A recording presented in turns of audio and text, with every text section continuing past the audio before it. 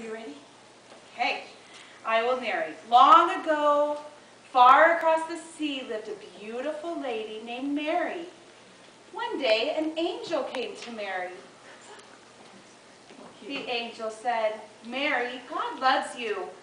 You are going to have a little baby boy, and you should call his name Jesus. Then the angel went away. Mary thought and thought about what the angel had said. Mary and Joseph needed to go to Bethlehem to pay their taxes. They traveled a long way.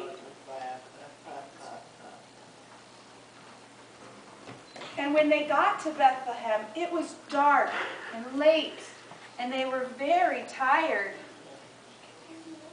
So they went to an inn.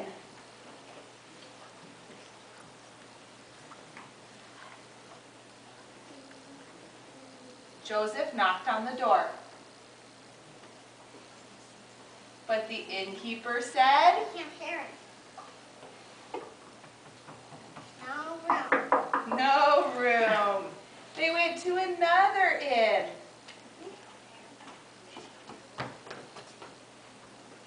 Joseph knocked on the door.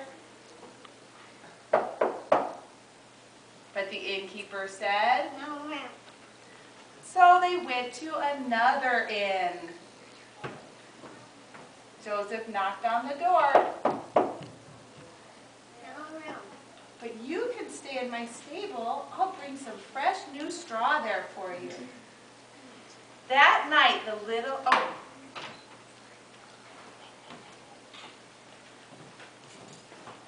Night, the little baby Jesus was born. Mary wrapped him in swaddling clothes and laid him in a manger. Far out in the fields, the shepherds were tending their sheep. They saw a bright new star and in the sky and heard someone singing. They were very frightened, but an angel came to the shepherds.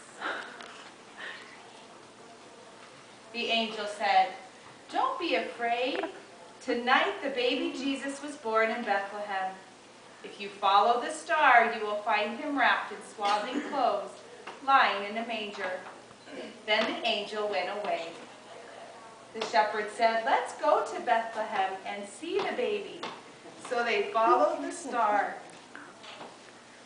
And they came and found Mary and Joseph and the baby lying in the manger. And they knelt down and worshiped him.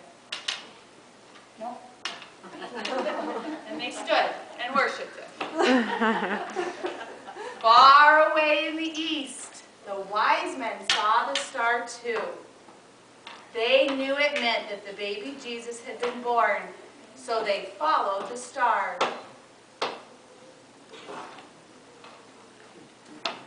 They brought gifts for the baby, and they knelt down and worshiped him also. In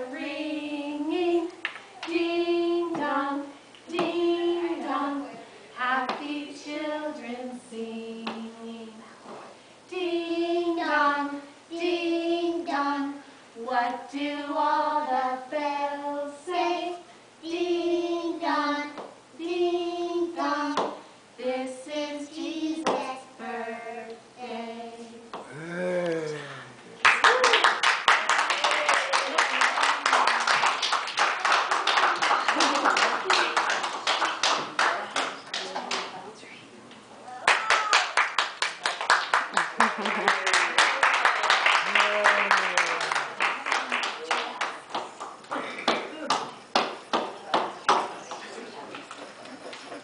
now they have a few Christmas songs for you.